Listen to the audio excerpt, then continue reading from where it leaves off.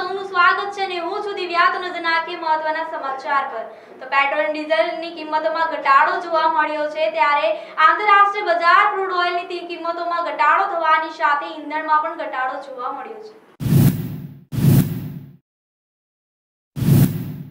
Petrol અને ડીઝલની કિંમતોમાં ઘટાડો સતત દસમા દિવસે યથાવત રહ્યો છે ત્યારે આંતરરાષ્ટ્રીય બજારમાં ક્રૂડ તેલની કિંમતોમાં નરમાશ જોવા મળ્યા બાદ સ્થાનિક બજારમાં ઈંધણની કિંમતમાં ઘટાડો જોવા મળી રહ્યો છે.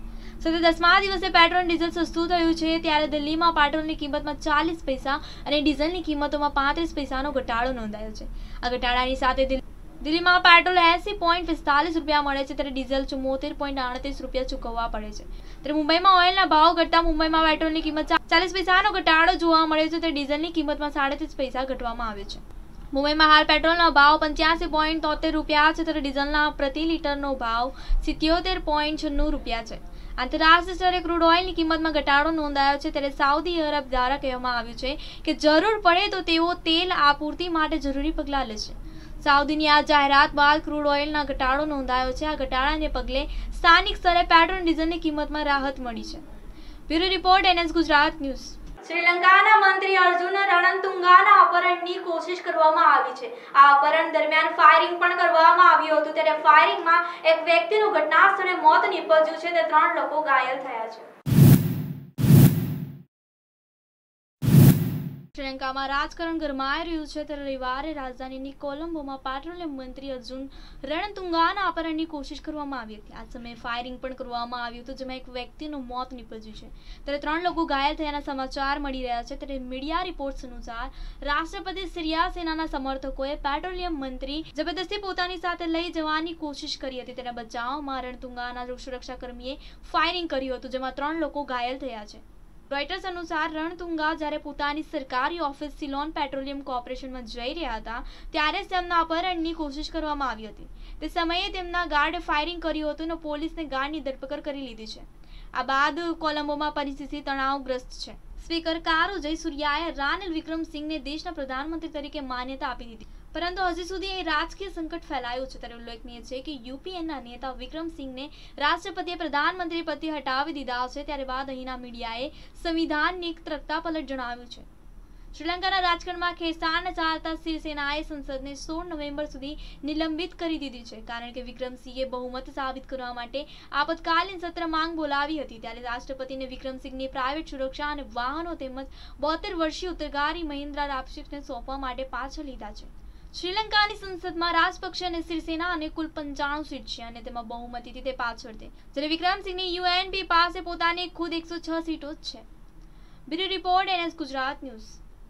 પહોંચવા માત્ર હવે રોડ બનવા માટે સરકારે ખાલી પાંચ અજબ રૂપિયા ખર્ચ્યા છે. ત્યારે સ્ટેચ્યુ ઓફ યુનિટીને સ્યુરે ડિસ્ટન્સ બનાવવા માટે બાર રૂપિયા આશરે પંચાણું કિલોમીટર લંબાઈના ફોર લેન ચાર અંદાજે રૂપિયા પાંચસો પાંચ કરોડ ખર્ચે તૈયાર કરવામાં આવ્યું છે. સ્ટેચ્યુ ઓફ યુનિટીને ટુરિસ્ટ ડેસ્ટિનેશન બનાવવા માટે ભાગરૂપે આશરે પંચાણું કિલોમીટર લંબાઈના ફોર લેન પાંચસો પાંચ કરોડના ખર્ચે તૈયાર કરવામાં આવ્યો છે, જે મોટા માર્ગે નાયબ મુખ્યમંત્રી નીતિન પટેલના હસ્તે ખુલ્લા મુકાશે. રાજ્ય સરકારે તેના બજેટમાં બજેટમાંથી સ્ટેટ હાઈવેના બે રસ્તા તૈયાર કર્યા છે. એક ડબોઈથી દેવલિયા સુધીનો છત્રીસ કિમીનો રસ્તો આશરે જે રૂપિયા બસો કરોડમાં તૈયાર થયો છે, જે ઉત્તર ગુજરાતથી જતા પ્રવાસીઓ માટે ઉપયોગી બનશે. જ્યારે બીજો પચીસ કિલોમીટરના અંતરે રાજપારડીથી સુધીનો આશરે રૂપિયા એકસો પચાસ કરોડના ખર્ચે તૈયાર કરાયો છે, જે દક્ષિણ ગુજરાત તરફના પ્રવાસીઓ માટે અનુકૂળ રહેશે. આ બંને સ્ટેટ હાઈવે ઉપર મોટા ત્રણ બ્રિજ તૈયાર કરવામાં આવ્યા છે, જે પૈકી એક ઓરંગસન નદી ઉપર અને બીજો કેવડિયા નજીક અશ્વિની નદી ઉપર અને આવી જ રીતે નેશનલ હાઈવે ઓથોરિટી તરફથી સ્ટેચ્યુને પહોંચવા માટે બે મોટા ફોર લેન રસ્તા બનાવવામાં આવ્યા છે, જેમાં દેવલિયાનથી રાજપીપળા સુધીનો ચોવીસ કિમીનો રસ્તો એકસો વીસ રૂપિયા કરોડના ખર્ચે તૈયાર થયો છે, જ્યારે કેવડિયા જંકશનથી કેવડિયા કોલોની સુધીનો દસ કિમીનો રસ્તો રૂપિયા પાંત્રીસ કરોડના ખર્ચે તૈયાર થયો છે. યુનિટી સ્ટેચ્યુને પહોંચવા માટે પ્રવાસીઓને સરળતા રહે તે હેતુથી ખાસ જોગવાઈ કરીને આ રસ્તાના કામે પૂરા કરાયા છે. Bureau report NS Gujarat news. President Donald ટ્રમ્પે સરકારને ભારત આવવાનું આમંત્રણ આપવામાં આવ્યું હતું અને ટ્રમ્પના પ્રશાસન પણ ખાતરી આપી હતી કે રશિયા સાથેના શસ્ત્ર સોદાના કારણે અમેરિકાએ આમંત્રણ ઠુકરાવ્યું છે.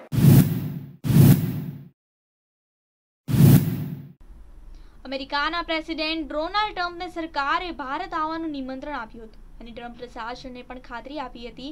પરંતુ રશિયા સાથેના સશસ્ત્ર સોદાને કારણે અમેરિકાએ આમંત્રણ ઠુકરાવ્યું છે. પહેલા અમેરિકનના પ્રેસિડેન્ટ ડોનાલ્ડ ટ્રમ્પે ભારત આવવાના આમંત્રણનો આમંત્રણનો સ્વીકાર કર્યો હતો. તેઓ ભારતના છવ્વીસમી જાન્યુઆરીના પ્રજાસત્તાક દિને નવી દિલ્હી આવવાના હતા. પરંતુ હવે તેમના પ્રશાસનને ઇનકાર કર્યો હતો. પ્રજાસત્તાક દિવસની પરેડમાં મુખ્ય અતિથિ બનવાનું ભારતનું આમંત્રણ અમેરિકન રાષ્ટ્રપતિ ડોનાલ્ડ ટ્રમ્પે ઠુકરાવી દીધું છે. ડોનાલ્ડ ટ્રમ્પનો નિર્ણય એવા સમયે આવ્યો છે જ્યારે ભારત અને પાકિસ્તાનના સંબંધોમાં રશિયા પાસેથી ભારત દ્વારા શસ્ત્રોની ખરીદીના કારણે કંઈક અંશે તણાવ આવ્યું છે. રશિયા સાથે ચારસો મિસાઇલની ડીલ પહેલા એક એવો અંદાજ લગાડવામાં આવ્યો હતો કે છવ્વીસમી જાન્યુઆરીએ ડોનાલ્ડ ટ્રમ્પ ભારતની પરેડમાં મુખ્ય અતિથિ બનશે. જોકે ડોનાલ્ડ ટ્રમ્પે ભારતનું નિમંત્રણ નહીં સ્વીકારવા પાછળ ઘર આંગણેના વ્યસ્ત કાર્યક્રમે જવાબદાર દર્શાવ્યા છે. ખાસ કરીને ટ્રમ્પનું સ્ટેટ ઓફ યુનિયનને સંબોધના મુખ્ય કારણ હોઈ શક્યું છે. જે બાવીસમી જાન્યુઆરી ફેબ્રુઆરી વચ્ચે ગમે ત્યારે યોજાઈ શકે છે. જો કે પહેલા બે હજાર પંદરના અમેરિકન પ્રમુખ બરાક ઓબામા ઘરઆંગણાના વ્યસ્ત ટાઈમ ટેબલ હોવા છતાં ભારતનું નિમંત્રણ સ્વીકારીને પરેડના મુખ્ય અતિથિ બન્યા હતા. Bureau report NS Gujarat news. ફરમાની વાત કરવામાં આવે તો ગુજરાતનો ફાર્મસી ઉદ્યોગ સામે આવે છે કારણ કે ગુજરાતનું ફાર્મા સેક્ટર ફૂલ ગુલાબી છે. હવે મોદી સરકારના જેનેરિક દવાઓના અભિયાનમાં આ ફાર્મા સેક્ટર વધુ ફાયદારૂપ બની રહ્યું છે. ફરવાની વાત કરવામાં આવે તો ગુજરાતનો ફાર્મસી ઉદ્યોગ સામે આવે છે, તેને કારણ કે ગુજરાતનું ફાર્મા સેક્ટર ફૂલ ગુલાબી છે. હવે મોદી સરકારના જેનેરિક દવાઓના અભિયાનમાં આ ફાર્મા સેક્ટરનું વધુ ફાયદારૂપ બની રહ્યું છે. જેનેરિક ક્ષેત્રે નવી નવી તકો સર્જાઈ રહી છે. ઉદ્યોગ માટે નવી તક અને પડકારો વિશે અમદાવાદમાં યોજાનારના ફાર્મિક ઇન્ડિયન એક્ઝિબિશનમાં ફર્મા ઉદ્યોગ અને જેનેરિક દવાઓનો અંગે ચર્ચા વિચારણા કરવામાં આવશે. તેમજ ક્લિનિક રિસર્ચમાં ગુજરાતના બજારનો હિસ્સો મજબૂત બની રહ્યો છે. તે પણ મહત્વનું પુરાવા થશે. એ ઉપરાંત અમદાવાદમાં આગામી વીસથી બાવીસ ઓગસ્ટ, જેમાં મેડિકલના વિવિધ તજજ્ઞો અને પેપર્સ પણ રજૂ કરવામાં આવશે. આગામી પાંચ વર્ષમાં અમેરિકા અને યુરોપમાં અંદાજે એકસો સાડત્રીસ અબજ ડોલરના ઉત્પાદનનો પેટર્ન મુક્ત થઈ રહ્યા છે. તેના કારણે ઊભી થયેલી જેનેરિક દવાઓની તકાનો તેના કારણે ઊભી થયેલી જેનેરિક દવાઓ અને તકનો લાભ લેવા અને વિશ્વના બજારોમાં તેનું સ્થાન મજબૂત કરવા માટે ભારત સજ્જ બની રહ્યું છે. દેશના ફોર્મલિસ્ટ ક્ષેત્રની આંતરિક શક્તિઓ તેમજ એડવાન્સ કોમેસ્ટિક રિસર્ચ તેમજ કોમ્પ્લેક્સ કેમિકલ સિનેથેસિસ તેમજ ઓછા ખર્ચ ઉત્પાદનને કારણે દેશનો ફાર્મા ઉદ્યોગ નિયંત્રિત ઓન પેઇન્ટિંગ ડ્રગ માર્કેટનો મોટો હિસ્સો હાંસિલ કરવા સજ્જ બની રહ્યું છે. બીજી તરફ ચાલુ વર્ષે જાન્યુઆરીથી ફાર્મા કોવિલેજન્સની સિસ્ટમ ફરજિયાત બની રહી છે. ત્યારે ફાર્માસ્ટ્યુલિક કંપનીઓ નિયંત્રણ લક્ષી નિયમોને કારણે સ્ટ્રાયલ્સ અટક્યા છે. અથવા તો ધીમા પડી ગયા છે, ત્યારે દેશમાં નવા ડ્રગ્સ રજૂ કરવા માટે વિલંબ કરવામાં આવશે. ત્યારે નવા નીતિ નિયમોના કારણે નવી માળખાગત સુવિધાઓ અને નવી સિસ્ટમ ડેવલપમેન્ટની આવશ્યકતાઓ ઊભી થશે. હાલમાં ક્લિનિક શિક્ષણ ક્ષેત્રે ભારે મૂંઝવણ પ્રવૃત્તિ રહી છે, ત્યારે દર્દીઓના હક્કો અને સલામતી માટે આખરી રેગ્યુલેટરી ગાઈડલાઇન્સ તેમજ નોંધપાત્ર ભૂમિકા ભજવવાની છે. ક્વોલિટી રિસર્ચ ડેવલપમેન્ટ માટે વાતાવરણ ઊભું કરવામાં આવ્યું છે. ત્યારે વર્ષ બે હજાર તેર અને ચૌદને જે નિયમલક્ષી ફેરફારો થયા છે, તેની ભારતના ફોર્મલ યુઝિસ ઉદ્યોગને નોંધપાત્ર અસર થશે. આ સમારંભમાં આ મુદ્દે ચર્ચા વિચારણા પણ કરવામાં આવશે. જ્યારે ફોર્મિક ઇન્ડિયામાં આશરે સો એક્ઝિબિટર્સ અને પાંચ હજાર જેટલા મુલાકાતીઓને સામેલ થવાની અપેક્ષા છે. વર્ષ બે હજાર વીસ સુધીમાં ભારત ટોચના ત્રણ ફોર્મ્યુલા માર્કેટમાં સ્થાન પામવા સમક્ષ બની રહ્યું છે. અને વૈશ્વિક સ્તરે છઠ્ઠા ક્રમે સૌથી મોટા બજાર તરીકે સમાવેશ પામશે. ગુજરાતમાં તેત્રીસોથી વધુ ઉત્પાદનના એકમો તથા રાષ્ટ્રીય ફોર્મેલિક ઉત્પાદનમાં તેત્રીસ ટકા હિસ્સો ધરાવે છે. અને જીએસટીના કારણે બે હજાર વીસ સુધીમાં હિસ્સો ચાલીસ ટકા પર પહોંચવાની ધારણા છે. ત્યારે સંજોગોમાં આગામી વર્ષોમાં ગુજરાત વૈશ્વિક રીતે જેનેરિક દવાના ક્ષેત્રે વધુ લાભ ઉઠાવી શકશે. Bureau report NS Gujarat news. સમય થયો છે બ્રેક નો તો લઈ એક બ્રેક. રાશિઓનું જીવનમાં શું છે મહત્વ? ગ્રહોની દશા જીવન પર શું કરે છે અસર? બદલાતા ગ્રહોની અસર પર કરીએ એક નજર. હું છું શાસ્ત્રી તુષારભાઈ જોશી. જોડાયેલા રહો. એનએસ ગુજરાત ન્યૂઝ સાથે આપની રાશિ, આપનું ભવિષ્ય. Uday green party plot. Naroda પૂર્વ વિસ્તારમાં સૌથી મોટો સુવ્યવસ્થિત આધુનિક પાર્ટી પ્લોટ અને બેન્ક્વેટ હોલ. જેમાં પ્રવેશતા જ કુદરતના પ્રાકૃતિક સૌંદર્યની ઝાંખી થાય છે, જેનું નિર્માણ કુદરતી વાતાવરણને અનુલક્ષીને કરવામાં આવ્યું છે. પાંચસોથી છ હજાર વ્યક્તિના પ્રોગ્રામને અનુરૂપ લોન એરિયા કલાત્મક ડેકોરેશન મેઇન ગેટ ફાઉન્ટેન જમણવારને લગતી તમામ વાસણ વ્યવસ્થા, વિશાળ પાર્કિંગ એરિયા અને આટલો જ નહીં વર કન્યા માટે ચાર રૂમ ફર્નિચર સાથે અને બીજી પણ ઘણી બધી સુવિધાઓથી નિર્મિત Uday green party plot near Jansewa Kendra, Nikol Naroda road, new Naroda, Ahmedabad. Contact number double nine zero four two nine four five four zero manage by Akshav event converting dream into reality catering by Green Veg Catering, Best Chef and Taste Forever. Decor by She Decor, Design Your Perfect Dream. Light by touch and glow light તો આજે જ મુલાકાત લો party પ્લોટની અને banquet હોલની અને જલ્દીથી જલ્દી booking કરાવો બાદ આપનું સ્વાગત છે. ત્યારે અયોધ્યા વિવાદ મામલે સુપ્રીમ કોર્ટમાં આજે સુનાવણી થવાની છે.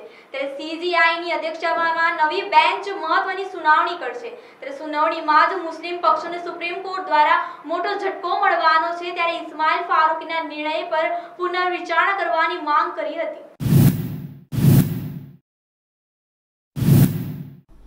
અયોધ્યાના વિવાદને લઈને સુપ્રીમ કોર્ટ મહત્વની સુનાવણી કરવાની છે. ત્યારે ચીફ જસ્ટિસ રંજન ગોગાઈ તેમજ જસ્ટિસ સંજન કિશન અને જસ્ટિસ કે એમ જોસેફની જોસેફની બેન્ચ આ મામલે સુનાવણી કરવાની છે. ત્યારે ગત સુનાવણીમાં તાત્કાલિક ચીફ જસ્ટિસ દીપક મિશ્રાની સાથે જસ્ટિસ અશોક ભૂષણ તેમજ અબ્દુલ નઝીર મામલાને સંભાળી રહ્યા હતા. ચીફ જસ્ટિસ દીપક મિશ્રાના રિટાયર્ડ થયા પછી સોમવારે થનારી સુનાવણીમાં ત્રણેય નવા જજોની નિયુક્તિ કરવામાં આવી છે. સુપ્રીમ કોર્ટમાં નવા મામલે સુનાવણીનો દિવસ હોય છે, ત્યારે દિવસે નવા કેસની ઝડપી સુનાવણી થાય છે. એવામાં આઇટમ નંબર તેતાલીસ તરીકે સૂચિબદ્ધ અયોધ્યા કેસ પર લાંબી સુનાવણી થશે કે નહીં તે જોવાનું રહ્યું. કોર્ટ નિયમિત સુનાવણીને લઈને શું કહે છે, તેમાં સુનાવણીમાં જ મુસ્લિમ પક્ષોને સુપ્રીમ કોર્ટ દ્વારા મોટો ઝટકો મળ્યો હતો. સુપ્રીમ કોર્ટે ઓગણીસો ચોરાણીમાં ઇસ્માઇલ ફારૂકના નિર્ણય પર પુનઃવિચારણા માટે બંધારણીય બેન્ચ મોકલાવવાની ના પાડી હતી. મુસ્લિમ પક્ષોને નમાઝ માટે મસ્જિદ ઇસ્લામનો એક આવશ્યક ભાગ નથી કહેવાતા તેમ ઇસ્લામ ફારૂકીના નિર્ણય પર પુનઃવિચાર કરવાની માંગ કરી હતી. તેમણે જણાવી દઈએ કે રામ મંદિર માટે થયેલા આંદોલન દરમિયાન છ સપ્ટેમ્બર ઓગણીસો બાણુંથી અયોધ્યામાં બાબરી મસ્જિદને તોડી દેવામાં આવી હતી. આ મામલે ગુનાહિત કેસની સાથે સાથે દીવાની કેસ પણ ચાલી રહ્યો છે. ટાઇટલ વિવાદથી સંબંધિત મામલો સુપ્રીમ કોર્ટમાં પેન્ડિંગ છે. ત્યારે અલ્હાબાદના કોર્ટને ત્રીસ સપ્ટેમ્બર બે હજાર દસમાં અયોધ્યા ટાઇટલ વિવાદમાં સંભળા ત્રીસ સપ્ટેમ્બર બે હજાર દસમાં અયોધ્યા ટાઇટલ વિવાદમાં નિર્ણય સંભળાવ્યો હતો. નિર્ણયમાં કહેવામાં આવ્યું છે કે વિવાદિત જમીનને ત્રણ સરખા ભાગમાં વહેંચી દેવામાં આવે. જે જગ્યા પર રામલીલાની મૂર્તિ છે, ત્યાં રામલીલા બિરાજમાનને આપવામાં આવે. તેમજ સીતા રસોઈ અને રામ ચબૂતરા નિર્મોહી અખાડાને આપવામાં આવે. જ્યારે બાકીની એક તૃતીયાંશ જમીન સૂફી વડફ બોર્ડને આપવામાં આવે. ત્યારબાદ આ મામલે સુપ્રીમ કોર્ટ પહોંચ્યો હતો. ત્યારે અયોધ્યાની વિવાદિત જમીન પર રામલીલા બિરાજમાન અને હિન્દુ મહાસભાએ સુપ્રીમ કોર્ટની અરજી દાખલ કરી હતી. ત્યારે બીજી બાજુ સુની સેન્ટ્રલ, બીજી બાજુ સુની સેન્ટ્રલ વડફ બીજી તરફ સુની સેન્ટ્રલ વહફ બોર્ડ પર સુપ્રીમ કોર્ટના હાઈકોર્ટના નિર્ણયની સામે અરજી દાખલ કરી હતી. ત્યારબાદ આ મામલે ઘણી પક્ષકારોની અરજીઓ આવી. સુપ્રીમ કોર્ટ નવ મે બે હજાર અગિયારના મામલે અલ્હાબાદ હાઈકોર્ટના આદેશ પર રોક લગાવી. આ મામલે સુનાવણી કરવાની વાત કરી હતી. સુપ્રીમ કોર્ટે યથાસ્થિત બનાવી રાખવાનો આદેશ આપ્યો હતો. ત્યારે સુપ્રીમ કોર્ટમાં ત્યારબાદથી આ મામલો પેન્ડિંગ જ પડ્યો છે. Bureau report, NS Gujarat news. CBI લાંચકાંડ મામલે સીબીઆઈના સ્પેશિયલ ડાયરેક્ટર રાકેશ અસ્થાનાને હાલ રજા પર મોકલી દેવામાં આવ્યા છે. ત્યારે આ પાછળ વધુ એક ખુલાસો સામે આવ્યો છે. ત્યારે વડોદરાના કૌભાંડી સાંડેસરા બંધુઓ સાથેના રાકેશ અસ્થાનાના સંબંધ જવાબદાર હોય તેમનું પતન થયું હોવાના અટકળો વહેતી થઈ છે. સીબીઆઈ લાંચકાંડ મામલે સીબીઆઈના સ્પેશિયલ ડાયરેક્ટર રાકેશ અસ્થાનાને હાલ રજા પર મોકલી દેવામાં આવ્યા છે. ત્યારે આ પાછળ વધુ એક ખુલાસો સામે આવ્યો છે. ત્યારે વડોદરાના કૌભાંડી, સાંડે રસના બંધુઓ સાથેના રાકેશ અસ્થાનાના સંબંધ જવાબદાર હોય તેમનું પતન થયું હોવાની અટકળો વહેતી થઈ છે. મહત્વની વાત છે કે સાંડેસરાના બંધુઓ પોલીસ કમિશનર કચેરીનું રિનોવેશન કરાવી આપ્યું હતું. એટલું જ નહીં, સાધુ સંઘ શ્રેલિંગ ગ્રુપની તકતી પણ લટકાવવામાં આવી હતી. તો સાંડેસરાએ પોતાની કંપનીમાં રાકેશ અસ્થાનાના પુત્રને નોકરી આપી છે. તો બીજી તરફ સાંડેસરા ગ્રુપ દ્વારા પાંચ હજાર ત્રણસો ત્યાસી કરોડના કૌભાંડમાં પણ ગુનો નોંધાયો છે. જેમાં રાકેશ અસ્થાના પર આરોપો લગાવવામાં આવ્યા હતા. સાંડેસરા ગ્રુપની ડાયરીમાં આસ્થાના અને તેના પુત્રની એન્ટ્રી પણ સામે કરવામાં આવી છે. ત્યારે ત્રણ પોઈન્ટ કરોડ રાકેશ અસ્થાનાને ચૂકવ્યા હોવાની શક્યતા સેવાઈ રહી છે. ઉલ્લેખનીય છે કે હાલ રાકેશ અસ્થાનાના લાંચકાંડના આરોપસર રજા પર છે ને ત્યારે સાંડેસરાના બંધુઓ વિદેશમાં હોવાનું સામે આવ્યું છે. Bureau report, NS Gujarat news. સંતરામપુરમાં પ્રતિબંધિત પ્લાસ્ટિકના જમલા અને ચાની પ્લાનીનું ખુલ્લેઆમ વેચાણ રહ્યું છે. છતાં તંત્ર દ્વારા કોઈ પગલાં લેવામાં આવ્યા નથી. ત્યારે પ્લાસ્ટિકના વેપારીને ત્યાં રેડ કરી પ્રતિબંધિત પ્લાસ્ટિકના જબલાનો માલ કબજે કરવામાં આવ્યો છે. મહીસાગર જિલ્લામાં આવેલા સંતરામપુર નગરમાં સરકાર દ્વારા પ્રતિબંધ મૂકવામાં આવેલા હલકી કક્ષાના પ્લાસ્ટિકના ઝબલા તેમજ ચાની પ્યાલીનું નગરપાલિકાના જવાબદાર સત્તાધીશોના નાક નીચે ખુલ્લેઆમ વેચાણ થઈ રહ્યું છે. છતાં તંત્ર કોઈ પગલાં ભરવા માટે પણ તૈયાર નથી.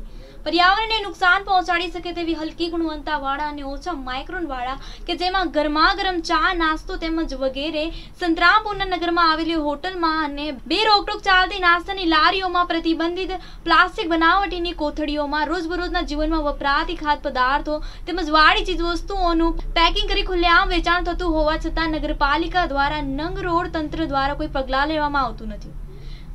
ઉલ્લેખનીય બાબત છે કે અગાઉ સુંદરામપુર નગરપાલિકા ચીફ ઓફિસ અને પાલિકા સ્ટાફ તેમજ કોલેજ રોડ પર આવેલા હોલસેલના પ્લાસ્ટિક વેપારીને ત્યાં રેડ કરી પ્રતિબંધિત પ્લાસ્ટિકનો જબલાના માલ કબજે કરવામાં આવ્યો હતો. પણ આ વેપારી દ્વારા હાલમાં સરકારના કાયદાની અવગણના કરીને હાલમાં ખુલ્લેઆમ પ્લાસ્ટિકના જબલા તેમજ ચાના કપના, પાણીના ગ્લાસ તેમજ ગરમા ગરમ ચા તેમજ નાસ્તાની ચટણી ભરવા માટે વપરાતી હલકી કક્ષાએ પ્લાસ્ટિકનું ધૂમ વેચાણ કરી રહ્યા હોવાના વિગતો બહાર આવી રહ્યા છે. ત્યારે જોવાનું એ રહ્યું છે કે સંતરામપુર નગરને સ્વચ્છ બનાવવા માટે તૈયારી બનાવતી કાયદેસરની કાર્યવાહી કરનાર નગરપાલિકાના ચીફ ઓફિસર આવનાર દિવસોમાં યોગ્ય કાર્યવાહી હાથ ધરી છે.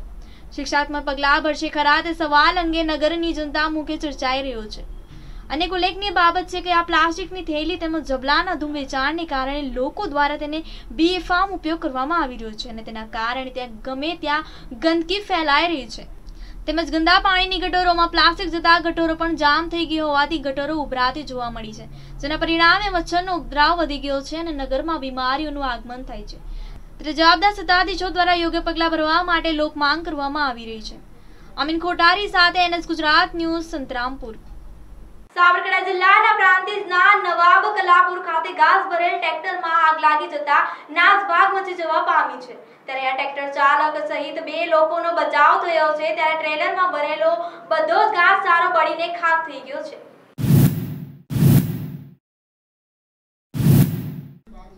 પ્રાંતિજના નવા બલકરપુર ખાતે ઘાસ ભરેલા ટ્રકમાં આગ લાગતા નાસભગી મચવા પામી હતી. ત્યારે પ્રાંતિજના ગામની સીમમાં આવેલ ખેતરમાંથી ડાંગરના પુરિયા ભરીને ટ્રક જતું હતું. ત્યારે વીજ વાયરો સાથે પસાર થતા તે દરમિયાન વીજ વાયર અડકી જતા, ભેગા થઈ જતા, ત્યારે તડખડ ગળ્યા હતા. ટ્રેલરમાં ભરેલા પશુ ઘાસમાં આગ પકડાઈ ગઈ હતી તો ટ્રેક્ટર ઉપર ઘાસ ઉપર બેઠેલા બે કૂદી પડ્યા હતા. તો ટ્રેક્ટર ચાલકે પણ ખબર પડતા તેણે ટ્રેક્ટર ટ્રેલરથી તાત્કાલિક છૂટું પાડ્યું હતું તો ચાલક સહિત બેનો બચાવ થયો છે. આગ લાગતા ચારે બાજુ બૂમ થઈ ગઈ હતી ત્યારે આજુબાજુના ખેતરોમાંથી ખેડૂતો દોડી આવ્યા હતા અને આગ ઓલવવાનો પ્રયત્ન કર્યા હતા. આ અંગેની જાણ પ્રાંતિજ ફાયર ફેક્ટરને કરવામાં આવી હતી ત્યારે મુકેશભાઈ, પિયુષભાઈ સહિતની ટીમ દોડી આવી હતી. લાગેલા આગમાં પાણીનો મારો ચલાવ્યો હતો ત્યારે આગ જોત જોતામાં ઉગ્ર સ્વરૂપ ધારણ કરતા ટ્રેલરમાં રહેલ બધું ઘાસચારો બળીને ખાક થઈ ગયો હતો. નવાબા કલપુરના ખેડૂત પાસેથી પોગુલના ખેડૂત નટવરલાલ બેચરભાઈ વણકર દ્વારા ખરીદી કરી પોતાના પશુઓ માટે ઘાસ ટ્રેક્ટરમાં ભરી લઈ જવાતો હતો. તે દરમિયાન આ ઘટના બની હતી. ખેડૂતને ટ્રેક્ટરનું ભાડું ખરીદેલ ઘાસ સહિત પંદર હજાર જેટલું નુકસાન પહોંચવાનો વારો આવ્યો છે. ત્યારે તંત્ર દ્વારા આર્થિક સહાય મળે તેવી માંગ પણ ઉઠવા પામી છે. જીલ રાવલ સાથે એનએસ ગુજરાત ન્યૂઝ પ્રાંતિજ. બાળકો સાથે દુષ્કર્મના ઉપરાંત છપરી બનાવો વધી રહ્યા છે ત્યારે વાડી ફળિયામાં એક બાળકી નરાધમની બંધ દાનવનો શિકાર બનતા માંડ માંડ બચી ગઈ છે. ત્યારે બંગાળીઓ બાળકીને વેફની લાલચી ઉપાડી જવાનો પ્રયાસ કર્યો હતો, ત્યારે સામે એક યુવાનની નજર પડતા જ બંગાળીઓ પકડાઈ ગયો છે. ત્યારે અપાર્ટમેન્ટની લિફ્ટમાંથી યુવાન નીકળ્યો અને બંગાળીઓ ભાગી છૂટ્યો છે. વાડીફળિયામાં ખાંડવાડી શેરીમાં જળીના કારખાનામાં કામ કરતા પરિવારના દસ વર્ષે બાળકી બહાર રોડ પર રમતી હતી. દરમિયાન બપોરા પોણા ત્રણ વાગે અરસામાં એક ભંગારીઓ લારી લઈ અહીંથી પસાર થયો હતો. તેના ડબ્બા સહિતની ભંગારની વસ્તુઓ લારીમાં લઈ જતા આ ભંગારિયાની નજર રમી રહેલી બાળા પર પડી હતી. તેણે બાળકીને વેફર આપી હતી. વેફરની લાલચ આવ્યા બાદ ચોકલેટ આપવાની ભંગારિયાએ વાત કરી હતી, જેથી બાળા લચાઈ હતી. તેણી ભંગારા સાથે ચાલી નીકળી હતી. ખાંડવાળાની શેરીમાંથી ચાલતા ચાલતા તેઓ સામેની શેરીમાં વ્હાઇટ હાઉસ પાસે પહોંચ્યા હતા. ભંગારિયાની દાનત ખરાબ હોય તેમ તે પોતાની લારી રોડ પર જ રજેતી મૂકી બાળાને લઈ ટ્યુશન ક્લાસીસની સામે આવેલા લેબોરેટરીમાં કોમર્શિયલ કોમ્પ્લેક્સમાં ચાલ્યો ગયો હતો. અને એક દોઢ મિનિટ સુધી તે બાળાને લઈ અંદર રહ્યો હતો. આ દરમિયાન સદનસીબે લિફ્ટમાંથી એક વ્યક્તિ નીચે ઉતરતા જ ભંગારીઓ ગભરાઈ ગયો હતો અને તેની બાળાને ભગાડી મૂકી હતી. બાળા નીકળ્યા બાદ ભંગારીઓ પણ બહાર નીકળી લારી ત્યાંથી પ્લાન થયો હતો. બાળા પરિવારજનો આ અંગે વાત કરતા સૌ કોઈ ચોંકી ગયા હતા. સીસીટીવી કેમેરામાં ભંગારો બાળકીને લઈ જતો દેખાય છે. બદકામના ઈરાદે જ તે બાળકીને અંધારિયા કોમ્પ્લેક્સમાં લઈ ગયો હોવાનું સ્થાનિકોનું માનવું છે.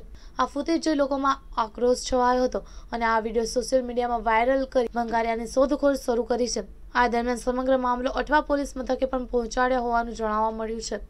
મિતુલ પરમાર સાથે એનએસ ગુજરાત ન્યૂઝ સુરત. તો બુલેટિનમાં બસ આટલું જ. વધુ માહિતી અને સમાચાર માટે જોતા રહો એનએસ ગુજરાત ન્યૂઝ. નમસ્કાર.